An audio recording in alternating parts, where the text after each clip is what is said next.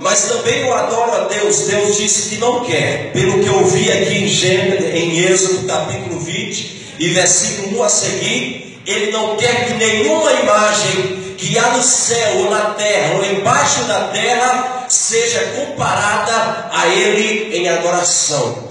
Para você entender o que é adoração, adoração é reverência. Adoração não é apenas você se colocar de joelho para adorar uma imagem, não. Quando você participa de algum evento que está comemorando adorando algum Deus, você também está cometendo a idolatria, a chamada idolatria, que eu falei no começo e vou continuar falando, que é o pior pecado que o homem, o ser humano, pode fazer é a idolatria. O homem, desde o início, desde o princípio do mundo, ele tem essa fraqueza de querer adorar o seu semelhante. Olha só o que fizeram com Paulo. Quiseram adorar Paulo. Eles queriam adorar Pedro.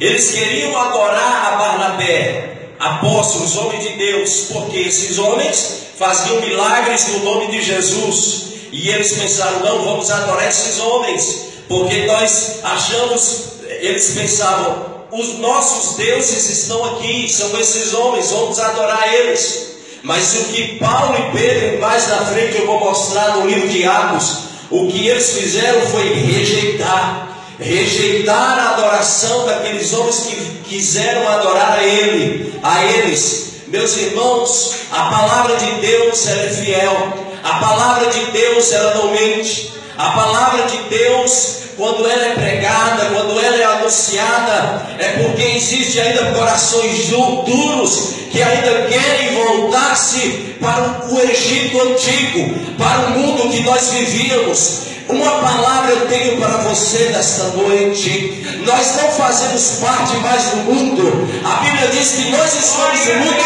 mas não fazemos parte desse mundo. Porque a nossa terra, a nossa terra chamada Nova Jerusalém que está no céu.